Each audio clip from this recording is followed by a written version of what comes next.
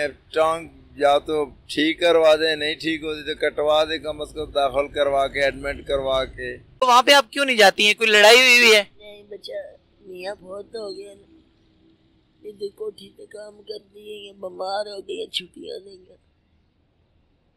मियाँ बहुत हो गया तो आ, बच्चे जब आपके घर रहते तो आप घर पे रहे ना?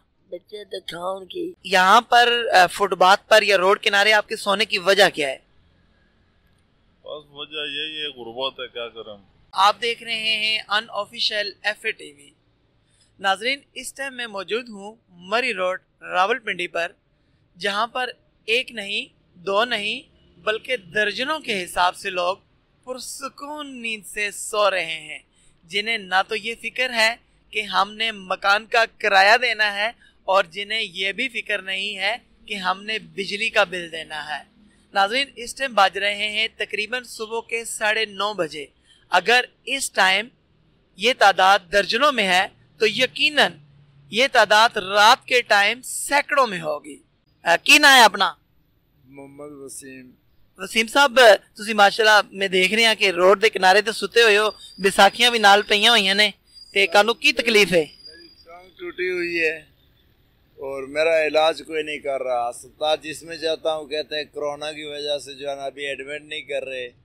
टांग टूटी हुई है और बुरी हालत से मेरी और कोई ये नहीं कि पूछ पाछ नहीं है। अस्पताल वाले कोई पूछ पाछ नहीं कर रहे। आपको कितना अरसा हो गया इधर रोड किनारे पे सोते हुए? तीसरे रोज़े को मेरी टांग टूटी थी साहब जी तो उसके बाद आप इधर ही लेटे। हमारे कोडी फैमिली सिविल अस्पताल बेनजीर अस्पताल सब अस्पतालों में मैं चेकअप कर लिए गया हूँ। ड्रेसिंग करते हैं और बाहर निकाल देते हैं और कहते हैं जाओ भाई। अच्छा ये चूँकि ये वाला जो हल्का है ये शेर रशीद साहब का हल्का है तो आप शेर रशीद साहब को कोई पैगाम देना चाहेंगे?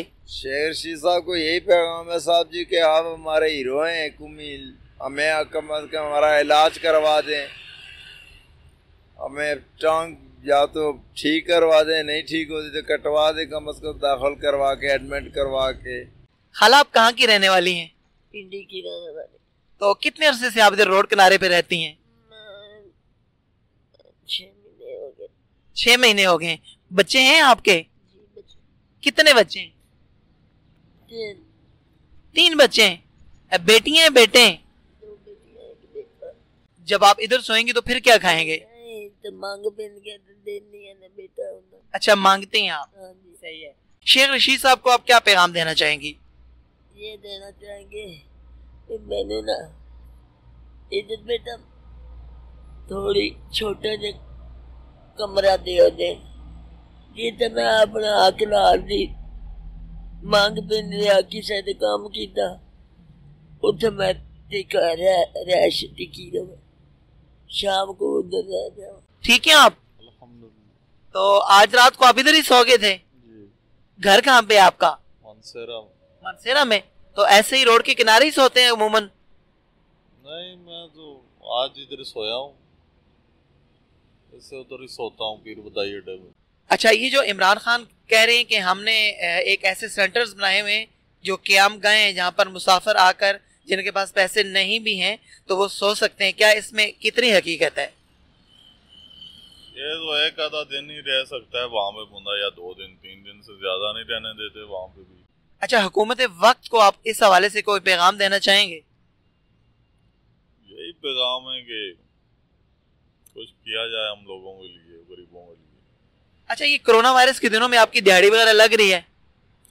दिहाड़ी वाड़ी नहीं लगती कभी कभार लग गई लग गई मजदूरी तो है नहीं है बिल्कुल इन दिनों में। चले जी बहुत शुक्रिया।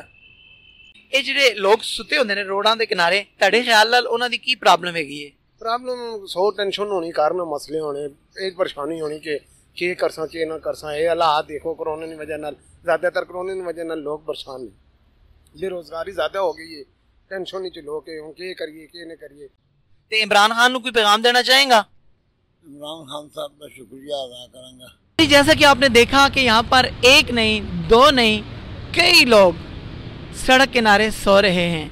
उनके सड़क किनारे सोने की वजह क्या है, ये तो आपने जान ही ली होगी। हम हुकूमत वक्त से अपील करते हैं कि जैसे वो अपने वज़ीरों का, जैसे वो अपने मशीरों का ख्याल रखते हैं, इसी तरीके से वो उन्हें गरीब लोगों का ख्याल रखना चाहिए। कैमरामैन हुजैफ़ा अब्बासी के साथ unofficial F T V Murree road, Rawalpindi से अपने मेज़बान डॉक्टर जवाद ज़हीर अब्बासी को इजाज़त दीजिए। अल्लाह हाफिज़।